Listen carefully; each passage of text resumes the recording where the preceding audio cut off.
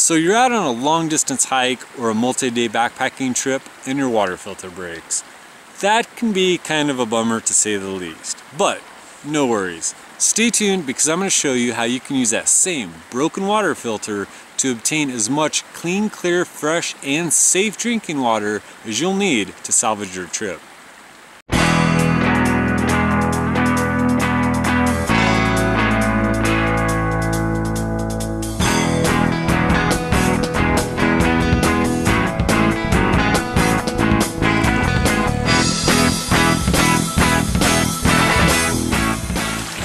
Hey there guys, this is John here of course and went out in some of the remote locations that a lot of us absolutely love to adventure in, explore in, just simply get lost in.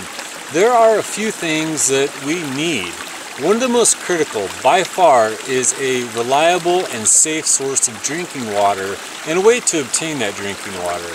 Now there are a lot of methods and devices out there on the market, a lot of different chemicals, things like that but by far, one of the most common is a good old-fashioned pump type filter that I have here. A lot of you guys are uh, probably familiar with this. Uh, you simply hook a hose to one end, put it in the water, uh, hose to the other end, uh, pump the thing up, and voila, you magically have fresh, clean drinking water uh, with none of the nasties in it. So one of the problems with these, however, is that they are mechanical, and anything mechanical is prone to failure. And I have had these things uh, break on me on occasion, uh, whether it's cracked housings, uh, broken off handle, uh, things can and do go wrong. Now, in the event that that happens, what do we do? Well, the answer is really simple and it's right here waiting for us.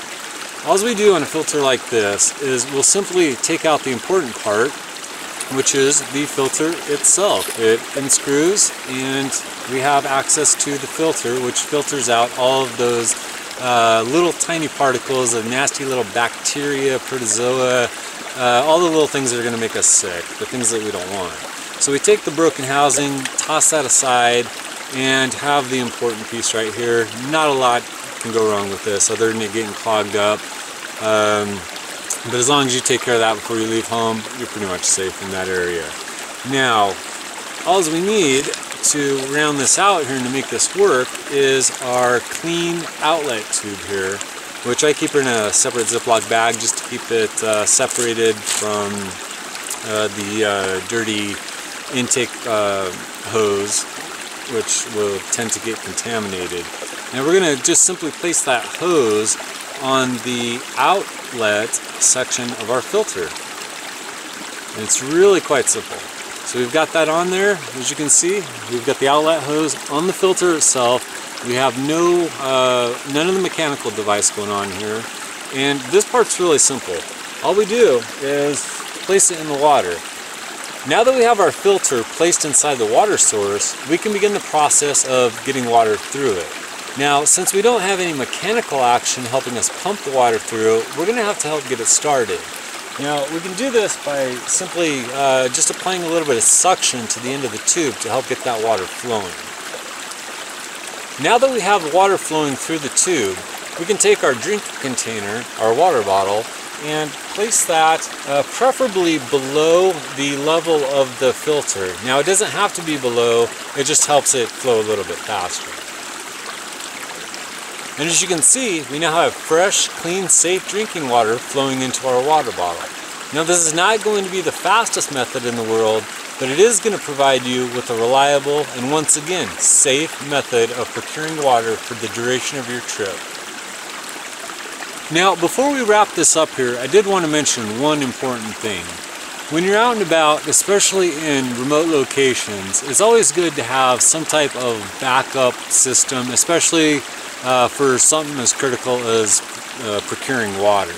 Now, whether that's some type of purification tablets or some of the new really lightweight and compact gravity-fed filters out there, or uh, something like uh, the LifeStraw, just something simple you can toss in your pack that's going to provide you an emergency backup uh, system. Uh, definitely make sure you carry something like that along. Uh, could potentially be a trip saver.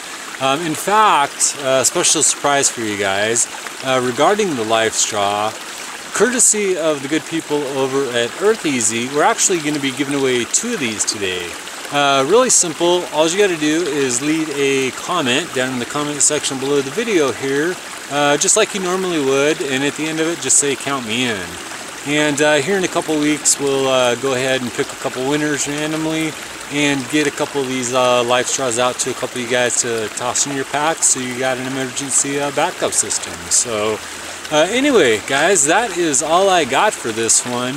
So I uh, hope it's been useful. And before we go, I just wanted to say thank you very much, as always, for your support. It is vastly appreciated, guys, truly.